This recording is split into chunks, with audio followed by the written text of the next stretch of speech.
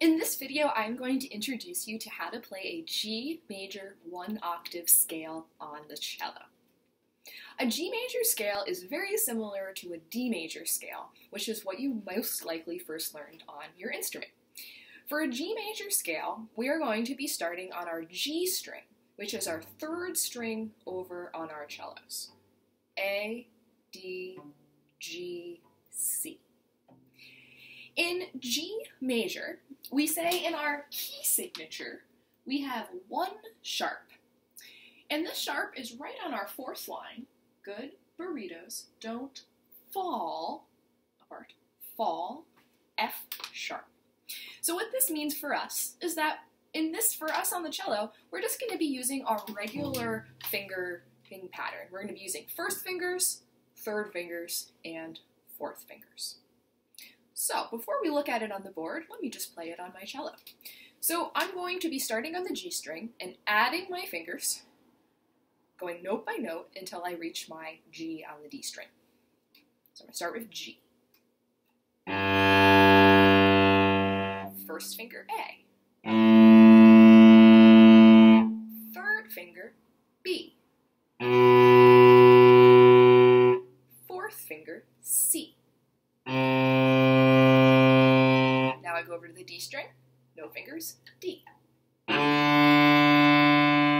finger, E. Three fingers, F sharp. And four fingers, G. I'm going to play that one more time all the way through. If you're playing along with me, go ahead and try it out. So we start with G.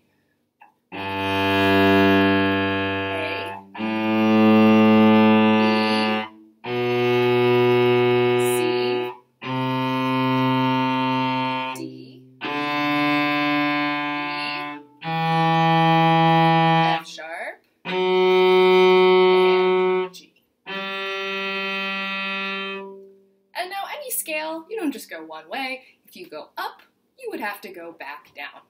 And depending on your choice through the music in front of you, sometimes you would repeat your top note and then go back down, and sometimes you would just get up there and then go immediately backwards. So let's repeat it and go back down. So G, F sharp, E, D, all four fingers over the G string, C,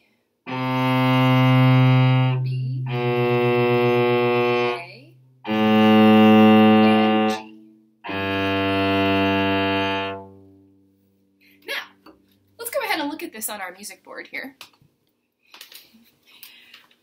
G is our bottom note in our music staff. And that makes this kind of easy to be able to find that G. Okay, third string, bottom line. Second string, middle line. Top string, top line. Um, so it kind of helps out to look for those points where you find your strings on your music staff. So here's G right there. And so of course we start on G, and then we go up one note into that next space, G up, add a finger, A, A up into that next line, B, B up into that next space, C, and then we know our D string notes, so we know that this is D, E, F sharp, and G right there.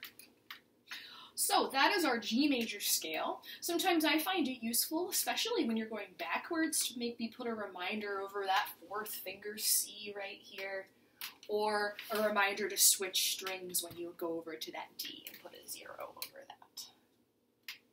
Okay? Let's go ahead and play it one more time all the way through together. We're going to go from the bottom to the top and right back down. We will not repeat the top note. Okay, fingers over your G string. Make sure your elbow isn't by your body. Make sure it's up in the air. Ready? G.